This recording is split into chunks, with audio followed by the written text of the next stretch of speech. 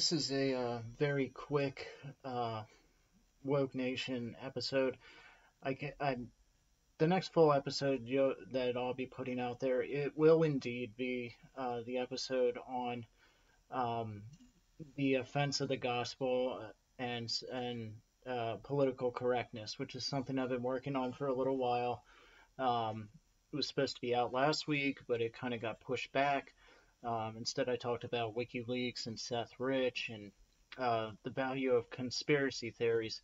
Um, the reason that I'm putting this out today, now, um, is because I felt like I had no choice. Um, with uh, what's going on right now, and with the midterms uh, coming up so soon in 13 days, um, it's critical that people um, are able to detach themselves from from the hysteria of the media. excuse me, from the hysteria of the media, and and from just hysteria in general. To you got to disengage yourself from emotion and from and from the hysteria that the media is perpetuating. Um, they're after ratings, so they're going to drum up any event uh, up to its maximum potential to to garner ratings, to garner attention, and uh, and, of course, they have an agenda. Most of these uh, mainstream media uh, outlets like CNN and uh, MSNBC, um, anything that's against the Democrat or the Republicans uh, or that can be used against Trump, they're gonna they're gonna blow it out of proportion. Um, last week we, we talked about the value and how I think there is a lot of value in conspiracy theories. I think that it, it not all of them are right. Some of them are pure lunacy but I think and going too far with it is bad, yes, but I think that it is it shows a healthy skepticism in citizens that do not just absorb and and accept every story that is told, handed down to them from media and from the news organizations without questioning it and, and not accepting it as the official uh, story. That being said, um, the recent events now. We're like I said, we're coming up on the midterms. We have 13 days until, uh, and it's the most. It's a, the media is portraying it as an extremely critical uh, election, and for once, uh, I would say that they're not using hyperbole. This is exactly true. This is an extremely critical and important uh, election what happens here uh, is going to determine the fate of the country for quite some time. If the Democrats get back into power, you know that they're going to um, grind to a halt all the all the uh, all the advancements and all the all the all the progress that has been made by the Trump administration here lately. And I don't agree with everything that Trump does, but I think he's done a lot of good. And I, I'm not going to get into all that right now, but we all know that if they get in there, you know, they've promised to impeach Trump. They promised to impeach Kavanaugh. They're going to reopen investigations into Kavanaugh. They they just said that once Mueller um, uh, releases his findings, they're going to open their own investigation into Russia. And that's because the word coming out of Mueller's camp right now is that he has nothing. There is no Russian collusion. He found none. And and so of course the Democrats aren't satisfied with that. So they're going to launch their own investigation, and if they can't find collusion, they'll plan it. And that that's kind of the point. That's why I'm putting this this episode out here right now, right here. Um, it's because I hope whoever listens to this, um, the two events that are happening right now, uh, it is extremely important that that people be able to look at this stuff in the context of of of timing. Uh, and I'm talking about the caravan and this recent event with all these pipe bombs being sent to um, George Soros, Maxine Waters, the Clintons, Obama. Um, there was one sent to Cuomo, I think, but that was revealed to not really be a bomb. It was just a hoax. Uh, but I just got done watching Tucker Carlson, and there was, I think, even a second device found that was addressed to Maxine Waters, which the irony of that is just delicious. The lady that calls for incivility and uh, aggression and um, and crowd violence uh, on the level of like Antifa gets two pipe bombs sent to her. Okay, but just put all that to the side. Um, you cannot disengage these two events from what is happening right now as far as the midterms are concerned. We'll start with the caravan. One of the main issues that is dividing this country, that divides the Democrats, which are becoming increasingly socialist and increasingly for open borders, non existent borders, one world government, um, is immigration. Um, they know that this election is going to be uncharacteristically tight and tough. It's gonna. There's no guarantee they'll win. Historically speaking, they should mop the floor with the Republicans, but that's not how it's looking right now. And there's no denying that the whole Kavanaugh uh, circus blew up in their faces. They expected to gain the emotional support of the American public, you know, uh, using hashtag Me Too and rape and and molestation and all these other uh, genuine concerns and fears that Americans have, and and to play them against us um, and gain our support, you know, against Kavanaugh. And, and it didn't work out quite like that. Instead, and they expected the Republicans to cave because they don't usually have a backbone. But the Republicans found their backbone and they found their balls and they they fought back. And um, uh, what it, it's it's done what they've called now the Kavanaugh effect. Um, the momentum completely shifted after Kavanaugh to uh, the Republicans in all these midterm races. All of a sudden, they jumped ahead in points, or uh, those that were behind uh, really made the races more narrow. Um, so, I mean, call me cynical, but I and there's many others that are saying this too, but I don't believe that this caravan um, just came about spontaneously. I don't think that this was just um, some random happens uh, just some just these people just happen to want to get together right now, right at this time, right before the midterms. I just don't believe it. Um, I was listening to Laura Ingraham, and apparently, and uh, according to other people too, like Big League Politics and True Pundit and uh, the Gateway Pundit, they, they've all been saying that there are uh, liberal organizations that have been funding uh, the caravan. Somebody had to fund it. Who? Um, and, and why is it the largest uh, mass group of people to march on our border in in recent memory? How is that possible right before the midterms? And and and, and normally these people would have to walk thousands of miles to get there, and vehicles are just appearing you know, to, to carry people, to rush them up to our border. Now there's a second caravan uh, with a thousand people in it. The first one did, wasn't big enough. It has seven, eight, ten thousand people in it. The mainstream media is down there with CNN and all these other people, all these fake news imbeciles, uh, interviewing, you know, their select uh, individuals from the caravan. You know, see, see, there, there are no terrorists in here. These are women and children uh, it, it's it's been proven and shown that most of them are men of working age and working ability. They are not refugees. So you know, people need to realize this. These are not refugees. These are not people fleeing death and war. These are people that are, genuinely looking for a better life, yes, but that does not qualify you as a refugee needing asylum. It does not. You are not that. You know, people that are doing that are in Somalia or, or fleeing the Democratic Republic of Congo with all the civil wars that have been going on there. Those are your refugees. You know, if a group of them were starting to come over, well, you would think about it a little bit. But these people out of Honduras, no. Guatemala, no.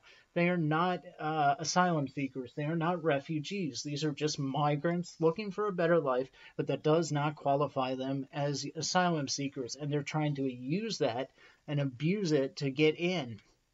Um, and somebody's funding them, and they're funding them intentionally right before the midterm um, to create a scene, to create conflict, to drum up hysteria, and to drum up emotion, to create confrontation.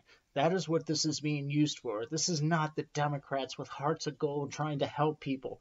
These people do not uh, are the most cynical, twisted people that I have ever seen, that I have ever witnessed. After watching the Kavanaugh thing, that that's what convinced me beyond a shadow of a doubt that uh, anyone that can use Me Too and and rape um, and callously use that to destroy somebody else's life with lies and to use that to manipulate the American public and, and to manipulate po- uh, the political process and destroy due process. Um, anyone that can do that um, just is capable, in my book, of anything. They obviously will do anything to hold on to power.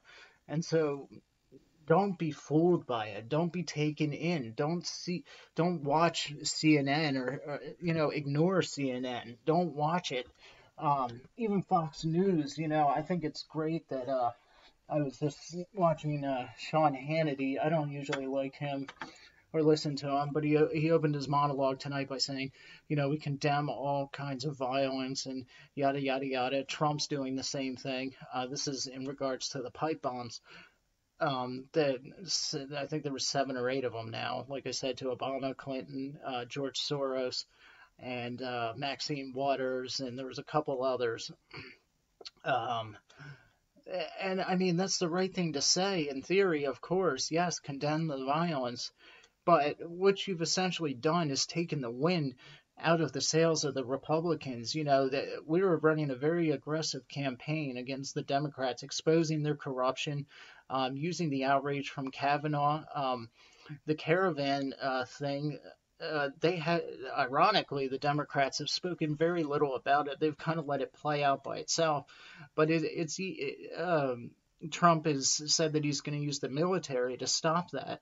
Um, so I mean, that was even kind of rallying uh, people even more to the, you know, to the polls on the Republican side.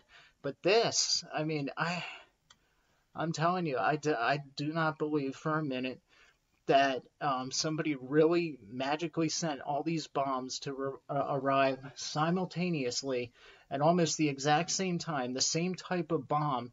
And there's uh, somebody, uh, I forget who it was, it was a reporter, I think, from either CNN or MSNBC, uh, released a picture of one of the packages. And it, uh, it was hand delivered, but it also had postage unmarked postage on it. Um, so somebody po- put postage on it as if they were going to mail it, but it it was not stamped by the uh, by the U.S. Postal Service, so obviously never went through. Uh, but yet it was hand delivered, so it's very confusing about what actually was going on there. It's inconsistent, really. It's like they were trying too hard or not paying attention to details enough, one or the other.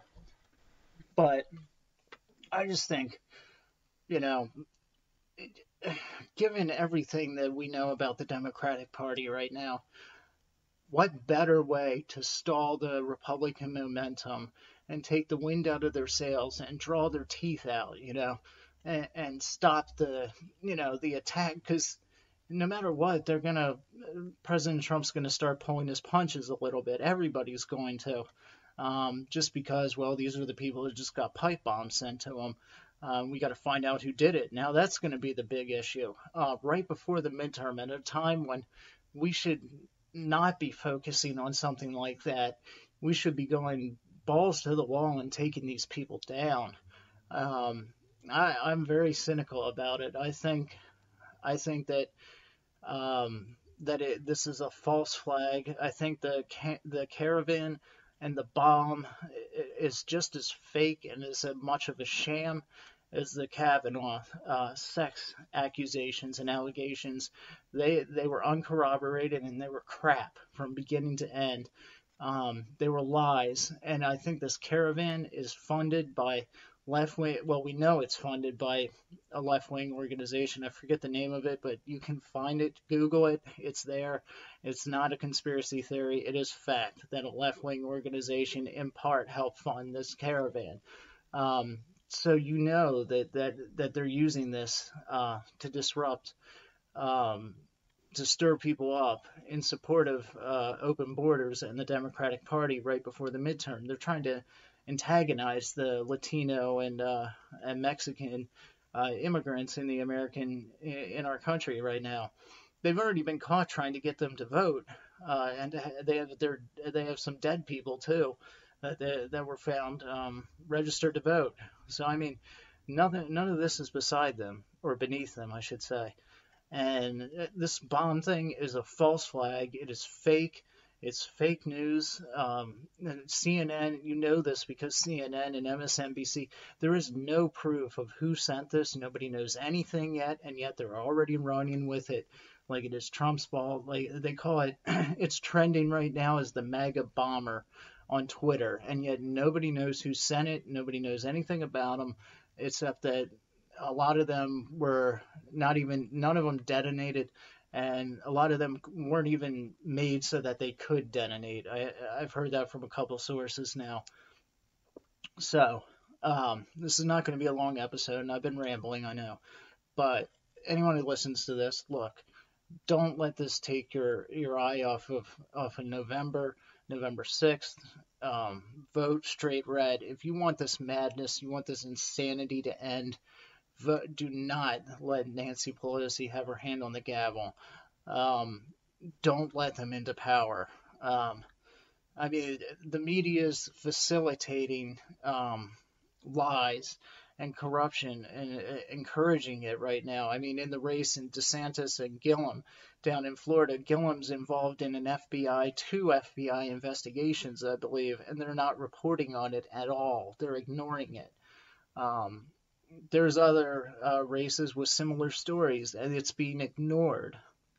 Um, but you know, if it was a Republican that was in the middle of an FBI investigation, CNN would not let it. He would never live it down. Um, and I I admire the work that James O'Keefe has been doing with Project Veritas. He's exposed new uh, already three or four Democrats running um, expose them for the liars and the hypocrites that they are. And I hope he exposes Gillum before all this is over. Uh, that would be that would be wonderful to have um, DeSantis beat him, even though he's trailing by six points from what I heard tonight. Um, and that's because uh, they're throwing everything. He is Gillum has had 40 million or more dollars thrown at him from out-of-state contributors. Um, I mean, he's absolutely drowning in money. Um, but that's what I wanted to get out there tonight. Uh, I know it's rambling, not very coherent message or episode, but look, bottom line, do not buy into any of this crap. These are false flag operations. There may even be more there may be more bombs, you know, and it's all fake. Do not believe it. I don't believe it for a minute. I'll believe it when one of them detonates and there are pieces of Maxine Waters all over the wall. Not that I want that to happen, but I'll believe it then. Until something like that happens, I don't believe it. I think it's fake. I think this is just being used to manipulate the American people to put, um, to turn the tables because the Democrats have really been shown to be the part of party of incivility, uncivility, incivility, whatever. Um, you got Antifa, you got Hillary Clinton saying we can't be civil with people that are trying to ruin our lives, referring to the Republican Party. Um, Maxine Waters, obviously, with her infamous comments and her MP 45 bullcrap. Um, uh, one guy was saying, you know, when the Republicans go low, we kick them. I, I forget the guy's name. He was a older, uh, he was a retired politician, I believe. Um, I'm tired right now, so I can't remember everything. Um, but you know, they they uh, they're notorious right now for it. What better way to turn the tables and make a you know total image shift uh, to now the Republicans are the ones that are, are sending bombs in the mail. Don't believe it. It's bullcrap. The uh, the midterms are right around the corner. They will do anything they can to win. Just remember that. Vote red. If you want this madness to stop, vote red. All right. Um, this weekend there will be the um, the gospel, the the uh, the offense of the gospel uh, versus uh, uh political correctness. Until then, good night and God be with you. And vote red.